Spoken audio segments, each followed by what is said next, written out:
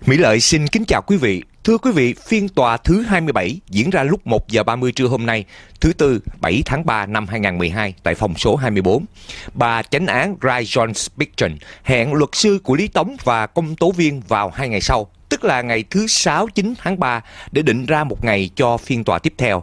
Bởi vì viên công tố sắp đi vacation nên ông ta muốn phiên tòa tiếp theo phải sau ngày 26 tháng 3 nhưng luật sư Lý Tống đòi hỏi phiên tòa tiếp theo phải trước ngày 19 tháng 3. Mục đích là để thay đổi người công tố khác cũng như có một chánh án thuận lợi hơn. Mời quý vị nghe anh Lý Tống trình bày ngay sau phiên tòa hôm nay vừa kết thúc. Hôm nay là phiên tòa thứ 27, có một cái trở ngại là là giữa công tố và luật sư mình tức là anh công tố là anh muốn câu giờ anh bảo là bây giờ họ cần đi về cây xanh thì phải 26 mới có thể bắt đầu phiên tòa được nhưng mà anh luật sư mình là phải đòi phải ra trước ngày 19 là tại vì nếu mà mình ra trước thì là sẽ có một công tố mới nó thuận lợi cho mình. Còn mà nếu mà mình ra sau ngày 26 thì là anh công tố cũ kia anh đi về cây xanh về thì có thể là không thuận lợi cho mình. Cái đó là vấn đề nó bây giờ tranh đấu là để lựa được một ông thẩm phán gọi là phe dễ chịu. Và thứ gì nữa là muốn tiến hành gọi là xử à, uh, càng sớm càng tốt. Thì bây giờ không biết là cái phiên tòa đến là ngày nào nữa. Là tại vì bây giờ bà tranh án bà hẹn là thứ sáu này là ông công tổ và ông uh, luật sư mình sẽ đến gặp riêng với bà là để thảo luận. Là qua chiều cái ngày nào một đằng thì muốn trễ còn một đằng thì muốn sớm được cái vấn đề như vậy thì là nữa cảm ơn quý vị. Là cái gì thứ sáu tôi thông báo. Chúng tôi sẽ thông báo ngày giờ phiên tòa tiếp theo trên www vietvungvinh.com Mỹ Lợi tường thuật từ Bắc Cali xin thân ái kính chào quý vị.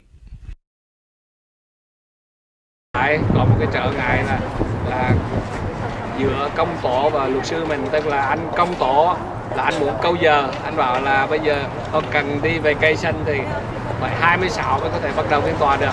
Nhưng mà anh luật sư mình là phải đòi, phải ra trước ngày 19 là tại vì nếu mà mình ra trước thì là sẽ có một công tố bởi nó thuận lợi cho mình. Còn mà nếu mà mình ra sau ngày 26 thì là anh công tố cùng kia anh đi về cây xanh về thì à, có thể là không thuận lợi cho mình cái đó là vấn đề nó bây giờ tranh đấu là để lựa được một ông thẩm phán gọi là phe dễ chịu. Và thứ gì nữa? Là muốn tiến hành gọi là xử uh, càng sớm một bởi vì viên công tố sắp đi vacation nên ông ta muốn phiên tòa tiếp theo phải sau ngày 26 tháng 3. Nhưng luật sư Lý Tống đòi hỏi phiên tòa tiếp theo phải trước ngày 19 tháng 3. Mục đích là để thay đổi người công tố khác cũng như có một chánh án thuận lợi hơn. Mời quý vị nghe anh Lý Tống trình bày ngay sau phiên tòa hôm nay vừa kết thúc. Hôm nay là phiên tòa thứ 27. Mỹ Lợi xin kính chào quý vị. Thưa quý vị, phiên tòa thứ 27 diễn ra lúc 1 giờ 30 trưa hôm nay, thứ Tư 7 tháng 3 năm 2012 tại phòng số 24. Bà chánh án Rai John Spiction hẹn luật sư của Lý Tống và công tố viên vào hai ngày sau, tức là ngày thứ 6 9 tháng 3 để định ra một ngày cho phiên tòa tiếp theo. Thì bây giờ không biết là cái phiên tòa để là ngày nào nữa, là tại vì bây giờ bà chánh án bà hẹn là thứ sáu này là ông công tố và ông uh, luật sư mình sẽ đến gặp riêng với bà là để thảo luận.